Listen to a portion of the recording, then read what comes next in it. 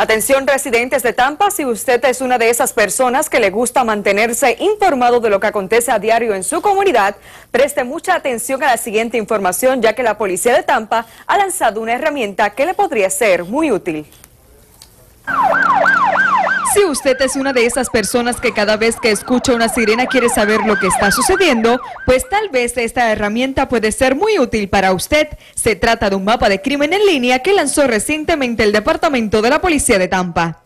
Nosotros estamos empezando un programa que le va a dar la oportunidad a la comunidad poder ver los tipos de crimen que está ocurriendo a donde ellos trabajan o viven, si viven o trabajan aquí en Tampa. Con este mapa interactivo podrán estar informados de todos los actos delictivos como robo, allanamiento de morada, homicidio y hasta accidentes de tránsito que ocurren dentro de los límites de la ciudad.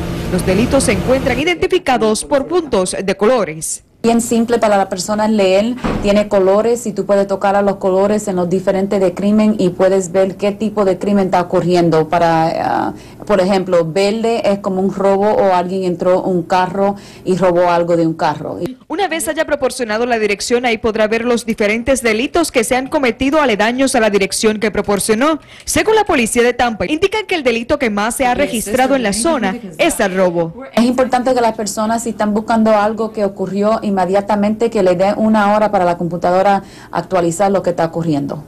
Por motivos de privacidad, los nombres de las víctimas no se incluyen en la información. Asuntos como violaciones sexuales y violencia doméstica tampoco se incluyen en el mapa interactivo. Pero eso no lo es todo. Los usuarios también pueden proveer información al Departamento de la Policía.